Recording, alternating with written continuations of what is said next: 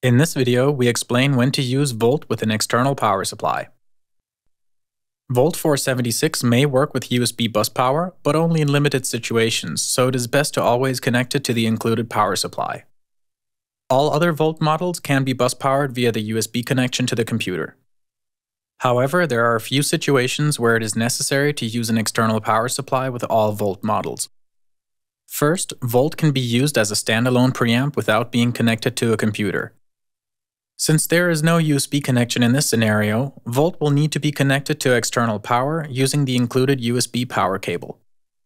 Connect the barrel connector to Volt's power input, then connect the cable into a standard USB wall charger.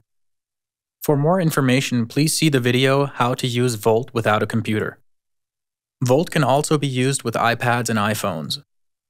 While some iPad models are capable of powering Volt, it is recommended to always connect Volt to an external power supply when using it with an iOS device to avoid draining the device's battery too quickly. For more information, please see the video How to connect Volt to an iOS device. When used with a computer, Volt can be bus powered via the USB connection when connected to most USB ports. However, some USB ports, such as those on underpowered hubs that don't meet USB 2.0 specifications, cannot supply adequate bus power. If Volt does not power on or shuts off during operation, connect it to a standard USB wall charger using the included USB power cable.